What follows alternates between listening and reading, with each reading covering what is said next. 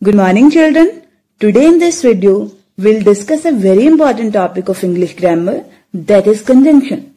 So open your grammar magic book, chapter conjunction. By the end of this video, you will be able to define the term conjunction, identifying the different types of conjunction and their usage. Children, here I want to tell you, conjunction is one of the very important parts of speech. So before beginning with this topic, we'll discuss some examples related to this. Now, look at these pictures. Number 1. Fish and birds are living creatures. Number 2. Fish swim and birds fly. Number 3. Fish can swim but they can't fly. Number 4. Birds can fly though they can't swim. So children, the words and, but, and, though are conjunctions or we can say joining words. So what are conjunctions? Conjunctions are joining words. In other words, you can say conjunction is a word that joins, connects two words, phrases or clauses together. For example, Vijay and Sanjay are best friends. My bike key is on the table or in the cupboard.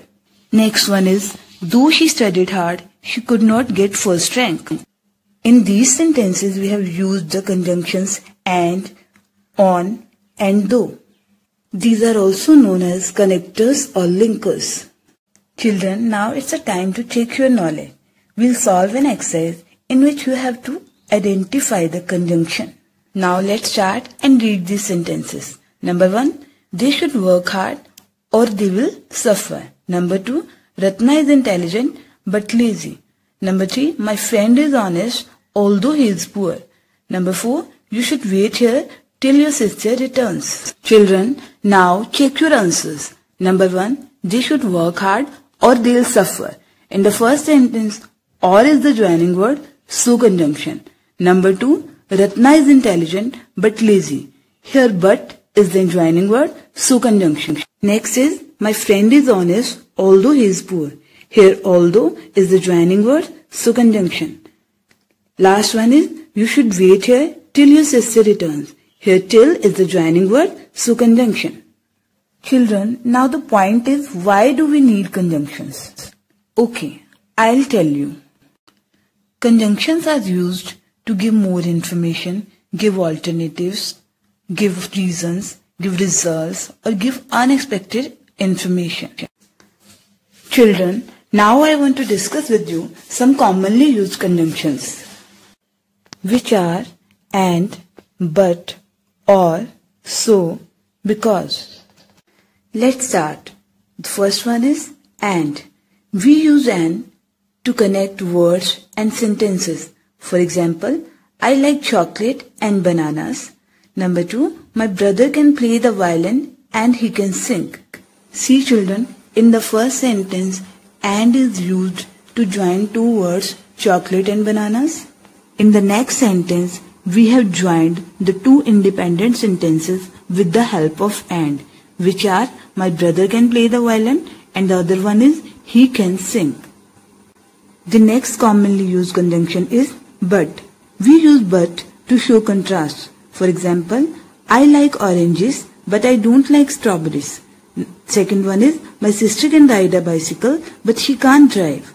Children, here contrast means two opposite things or situation. See in the first sentence, the person wants to say he likes oranges. On the other hand, dislikes strawberries. Similarly, in the next sentence, riding and driving are two opposite situations. So we have used but. The next commonly used conjunction is or. We use or to introduce an alternative or an option. For example, would you like tea or coffee? So there is an option between tea and coffee. So we have used or. Next is so. We use so to express the result. For example, I studied hard, so I passed the test. So what is the result of studying hard? That he passed the test. Next one is because. We use because to express a reason for something. For example, I passed the test because I studied hard. Children, here, what is the reason of passing the test? That he studied hard.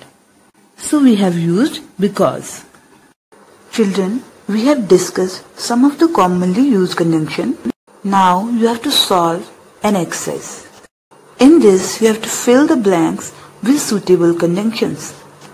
So let's start and read the sentences. Number 1. Wait here, dash I come back. Number 2. I dismissed my servant, dash he did not obey my orders. Number 3. Do not tease the dog, dash it may bite you. Number 4. Anu is rich, dash unhappy. Now we'll solve the exercise. Number 1 is wait here, dash I come back. Here time is there, so till. He has to wait here till he comes back. Number 2 is I dismissed my servant, dash he did not obey my orders. Here reason is there, so because. Why I dismissed my servant? Because he did not obey my orders. Number 3. Do not tease the dog, dash it may bite you. Here condition is there, so otherwise. When the dog will bite? When you tease it. So condition is there. Last one is Anu is rich, dash unhappy. Contrasting idea is there, so still. See, in spite of being rich, she is unhappy. Here opposite condition is there, so we have used the word still. Children, now we will discuss types of conjunction in which first one is coordinating conjunction, subordinating conjunction and the last is correlative conjunction. Children, today we have learned the topic conjunction, identifying the conjunction and some commonly used conjunction along with types of conjunction. So what are conjunction? To conclude, we can say a conjunction is a word that joins two nouns, phrases or sentences.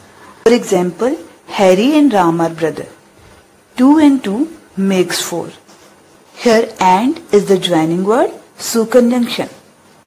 Children, I hope you understood the topic properly and now you have to solve the exercises given in the book. And children, please read the chapter thoroughly from the book for better understanding. In the next video, we'll discuss the coordinating conjunction in detail. Goodbye for now and thank you.